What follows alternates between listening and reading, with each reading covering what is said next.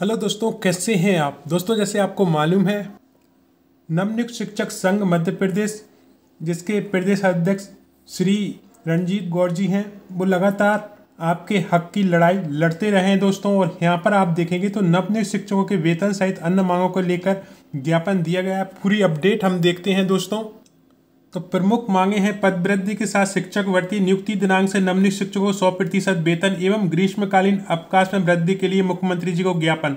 सागर तेरह मार्च दिन बुधवार को रानी कुंतीबाई विश्वविद्यालय के डिजिटल उद्घाटन के लिए सागर पहुँचे। श्री मुख्यमंत्री जी, श्री मोहन यादव जी को नवनियुक्त शिक्षक संघ ने जिला कलेक्टर के माध्यम से ज्ञापन पत्र सौंपा, जिसमें प्रमुख रूप से निम्न मांगे रखी गई थी। दोस्तों, नवनियुक्त शिक्षकों को ज्ञापन अनुसार नियुक्ति दिनांक से सौ प्रतिशत वेतन प्रदान किया जाए। कई जिलों के नवनियुक्त शिक्षकों को नियुक्ति दिनांक से आज तक वेतन प्राप्त नहीं हुआ, अतः उन सभी को शीघ्र वेतन भुगतान किया जाए। अधिकांश नवनियुक्त शिक्षकों को बिना शाला विकल्प के पदस्थापना दी गई है, अतः नवनियुक्त शिक्षकों के स्थानांतरण करने का अवसर प्रदान किया जाए। सीएम राइज एक्सीलेंस एवं मॉडल स्कूलों के नवनियुक्त शिक्षकों को अन्य स्कूलों में स्थानांतरण लेने की सुविधा प्रदान की जाए। स्कूल शिक्षा विभाग एवं जनजाति कार्य विभाग के पदस्थ शिक्षकों के आपस में स्थानांतरण किया जाए। समस्त रिक्त पदों पर स्थायी शिक्षक भर्ती प्रक्रिया को पद वृद्धि के साथ पूर्ण किया जाए। शिक्षकों के लिए ग्रीष्मकालीन अवकाश एक मई से पंद्रह जून तक किया जाए। ज्ञात हो कि 12 अप्रैल 2023 को नवनियुक्त शिक्षकों के प्रशिक्षण में तत्कालीन मुख्यमंत्री श्री शिवराज सिंह चौहान जी ने इस नवनियुक्त शिक्षकों को द्वितीय वर्ष में 100 प्रतिशत वेतन देने की घोषणा की थी, जो आज तक अधूरी है।